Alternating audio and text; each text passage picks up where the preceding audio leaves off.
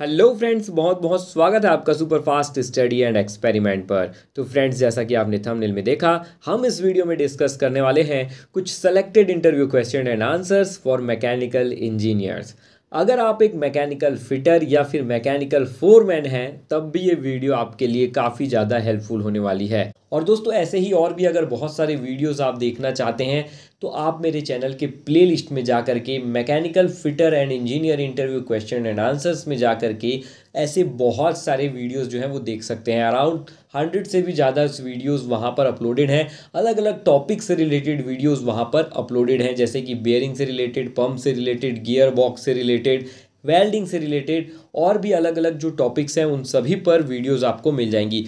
तो फ़िलहाल इस वीडियो को स्टार्ट करते हैं। बने रहिएगा वीडियो में अंत तक।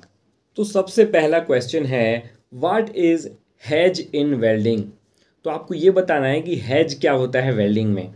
अगर सबसे पहले हम बात करते हैं हैज़ के फुल फॉर्म की तो उसका फुल फॉर्म होता है हीट अफेक्टेड जोन अब जैसा कि नाम से ही क्लियर है, ये हीट अफेक्टेड जोन क्या होता है? जैसे कि हम कभी भी वेल्डिंग करते हैं ना? तो वेल्डिंग करते हैं तो क्या होता है? वेल्डिंग जहाँ पर होता है, वहाँ पर तो मेटल मेल्ट होता है है ना? लेकिन जो बेस मेटल होता है, जिसके ऊपर वेल्डिंग हो रही है, जहाँ पर वेल्डिंग हो रही है, उसके आसपास का जो एरिया होता है, वहाँ पर का भी टेम्परेचर काफ़ी ज़्यादा इंक्रीज़ हो जाता है। और इस टेम्परेचर के इंक्रीज होने की वजह से मेटल जो है मेटल की जो प्रॉपर्टीज़ है, वो चेंज हो जाती है। मेटल का माइक्रो स्ट्रक्चर चेंज हो जाता है। वहाँ पर मेटल की स्ट्रेंथ जो है, वो भी कम हो जाती है। है ना? तो ऐसे बहुत सारे इफ़ेक्ट्स पड़ते हैं हीटिंग की वजह से वेल्डिंग की हीट की वजह से। और इसी हीट की वजह से बेस मेटल पर जहाँ पर, जैसा कि आप इमेज में देख पा रहे हैं, जहाँ पर वेल्डिंग हुआ है, उसके दोनों तरफ़ इस साइड में भी और इस साइड में भी यहाँ पर हैज़ आपको क्लियर दिख रहे हैं, जिसे कि यहाँ पर मेंशन किया गया है। और यही है वो heat affected zone next question है आपका what is the difference between taper roller bearings and taper bore bearings तो देखिए, ये क्वेश्चंस कंफ्यूजिंग क्वेश्चंस होते हैं। ऐसे क्वेश्चंस को इंटरव्यूज़ में ज़्यादा पूछा जाता है, जिससे कि आप कंफ्यूज हो जाते हैं और गलत आंसर कर देते हैं। तो आपको ध्यान से समझना है पहले तो क्वेश्चन को। कि टेपर रोलर बियरिंग्स और टेपर बोर बियरिंग में क्या डिफरेंस होता है? देखिए, दोनों इसका आंसर इसके नाम पे ही छुपा है। Taper roller bearings taper roller bearings ऐसे बियरिंग्स होते हैं जिनमें जो रोलिंग एलिमेंट्स होता है, वो टेपर होता है। जैसा कि आप इमेज में देख पा रहे हैं। जबकि हम बात करें टेपर बोर बियरिंग्स की तो टेपर बोर बियरिंग्स ऐसे बियरिंग्स होता है जिनका जो इनर होता है इनर डाया जो होता है, वो टेपर होता है। और ऐसे बियरिंग्स के साथ में एडोप्टर स्ल्यूज का इस्तेमाल किया जाता है। नेक्स्ट क्वेश्चन है आपका what is the taper ratio of taper bore bearings यानी कि आपको रेशियो बताना है कि जो आपका टेपर बोर बियरिंग्स होता है, उसका रेशियो कितना टेपर होता है वो? कितने रेशियो में टेपर होता है? तो देखिए, जिन, जो बेयरिंग नंबर्स के आगे में के लिखा होता है, उसका मतलब ये होता है कि वो टेपर बोर बियरिंग्स है। तो यहाँ पर दो टाइप्स के रेशियो होते हैं, दो रेशियोज के टेपर बोर्ड्स होते हैं, जिनके सफिक्स में लिखा होता है के या फिर ई e के तो वो जो बियरिंग्स होते हैं, वो टिपर बोर बियरिंग्स होते हैं, जिसका बोर का जो रेशियो होता है, वो वन रेशियो ट्वेल्व होता है। जबकि वहीं पर अगर आपके बियरिंग के सफिक्स में लिखा हुआ है के थर्टी लिखा हुआ है तो ये इंडिकेट करता है कि आपका जो टेपर बोर है, उसका रेशियो है वन रेशियो थर्टी तो इन दोनों ही रेशियोज़ में टेपर बोर बियरिंग्स जो हैं वो अवेलेबल होते हैं। One ratio twelve and one ratio thirty next question है आपका what are the main advantages of using taper bore bearings यानी कि टेपर बोर बियरिंग्स को यूज़ करने के मेन एडवांटेजेस क्या क्या होते हैं, ये आपको बताना है। टेपर बोर बेयरिंग्स यूज़ करने का सबसे बड़ा एडवांटेज ये होता है कि इसको बहुत ही आसान होता है माउंट और डिसमाउंट करना। यानी कि इसको असेंबल करना और डिसअसेंबल करना बहुत ही आसान होता है। बहुत ही कम समय में ये हो जाता है क्योंकि इसमें एडोप्टर स्लीव्स लगते हैं। बहुत मेंटेनेंस जो है इससे बहुत कन्वीनियंट हो जाता है। इसके साथ ही जो टेपर बोर बेयरिंग्स होते हैं, वो हाई स्पीड के साथ साथ हाई लोड को भी बियर कर पाते हैं। जिसकी वजह से इन्हें wide range of industrial applications में हम यूज़ कर सकते हैं। नेक्स्ट क्वेश्चन है आपका। अगर आपके पास एक टेपर बोर बेयरिंग है बाईस दो सौ पंद्रह ई की तो आपको ये बताना है कि इसमें कौन से एडोप्टर स्लीव्स का इस्तेमाल किया जाएगा। तो देखिए फ्रेंड्स बहुत ही सिंपल है। अगर आपने इस इस टाइप के बेयरिंग्स को यूज़ किया होगा तो आप जानते ही होंगे। अगर आपने नहीं यूज़ किया है तो मैं आपको सिंपली बता देता हूँ। बाईस दो सौ पंद्रह ई के ये दो सौ पंद्रह वाली जो सीरीज़ है, बाईस दो सौ पंद्रह, बाईस दो सौ सोलह, बाईस दो सौ बारह, बाईस दो सौ तेरह तो ये जो सीरीज़ होती है, इसमें जो स्लीव होता है, वो लास्ट के जो तीन डिजिट होते हैं, उसमें आपको हंड्रेड ऐड कर देना है।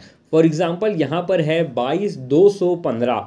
तो जो 215 है लास्ट के तीन डिजिट उसमें अगर हम 100 ऐड कर देते हैं तो हो जाता है 315 तो जो आपका एडोप्टर स्लीव यहाँ पर यूज़ होगा, वो होगा एच 315 इस नंबर का एडोप्टर स्लीव्स इसमें यूज़ किया जाएगा। नेक्स्ट क्वेश्चन है आपका what is the meaning of number written on spanner यानी कि आपका जो स्पैनर होता है, यानी कि जो पाना होता है, जिसके इस्तेमाल आप नट बोल्ट को टाइट करने के लिए या फिर लूज़ करने के लिए करते हैं, उसके ऊपर में जो नंबर लिखा होता है उसके एंड पर, फॉर एग्ज़ाम्पल वहाँ पे लिखा है बारह, एक साइड में, एक साइड में लिखा है तेरह तो ये नंबर क्या इंडिकेट करता है? एक्चुअल में है क्या वो? तो देखिए, ये जो होता है, इसको अगर आप मेज़र करेंगे, आपके मेज़रिंग टेप से भी आप मेज़र कर सकते हैं। तो जिस साइड में जहाँ पर बारह लिखा हुआ है, वहाँ पर का ओपनिंग अगर आप देखेंगे तो वो बारह एम mm होगा। और जिस साइड में तेरह लिखा है, वहाँ पर का जो ओपनिंग देखेंगे, वो तेरह एम mm होगा। यानी कि उसे बोल्ट जिसका हेड थर्टीन एम mm है, उसे ओपन करने के लिए यूज़ किया जाएगा। और जहाँ पर ट्वेल्व लिखा हुआ है, वहाँ पर ऐसे बोल्ट जिसका हेड जो है वो ट्वेल्व एम mm है, उसे ओपन करने के लिए या फिर टाइट करने के लिए यूज़ किया जाएगा। है तो बहुत ही बेसिक सी चीज़, लेकिन हम कभी कभी इस चीज़ को ध्यान नहीं दे पाते हैं या फिर क्वेश्चन पूछने के समय में हम कंफ्यूज हो जाते हैं और आंसर नहीं कर पाते हैं। तो आपको कंफ्यूज नहीं होना है। बहुत ही सिंपल सी चीज़ है जो इस पैनल में जो भी नंबर होता है, वो आपका, उसका मेज़रमेंट होता है, उसके ओपनिंग का एम mm में। नेक्स्ट क्वेश्चन है आपका what process is use to make a spanner यानी कि कौन से प्रोसेस का इस्तेमाल किया जाता है स्पैनर को बनाने के लिए? Most types of spanners are made using the drop forging process जो मैन्युफैक्चरिंग में ड्रॉप फोर्जिंग प्रोसेस है, उसका इस्तेमाल किया जाता है ज़्यादातर स्पैनर्स को बनाने के लिए। नेक्स्ट क्वेश्चन है आपका एक्सप्लेन ड्रॉप फोर्जिंग प्रोसेस तो आपको बताना है कि जो ड्रॉप फोर्जिंग प्रोसेस है, वो कैसे होता है है ना? तो देखिए, जैसे कि हमने अभी देखा स्पैनर हमारा इसी प्रोसेस से बनता है। ज़्यादातर ड्रॉप फोर्जिंग प्रोसेस से ही बनता है। तो ड्रॉप फोर्जिंग में कुछ इस तरह से होता है, आप देख सकते हैं यहाँ पर दो डाई है हमारे पास, एक अपर डाई है और दूसरा है लोअर डाई। इन दोनों डाई के बीच में ही हमें अपने हॉट प्री हीटेड मेटल या फिर जो बिलेट है उसे हमने रख दिया है। अब क्या होगा, जैसे ही हम ऊपर वाले डाई को नीचे वाले डाई में ड्रॉप करेंगे, हमारा जो बिलेट है, जो हॉट बिलेट है, वो उस डाई के शेप के अकॉर्डिंगली शेप में कन्वर्ट हो जाएगा, जैसे कि आप राइट साइड वाले इमेज में देख सकते हैं। और हमारा जो प्रोडक्ट है, वो हमें मिल जाएगा डिज़ायर्ड शेप एंड साइज़ में। यहाँ पर जो हमारा प्री हीटेड बिलेट है, उसे एक सर्टेन टेम्परेचर तक पहले हीट किया जाएगा। उस टेम्परेचर में आने के बाद ही उसे फिर फोर्जिंग किया जाएगा उसमें।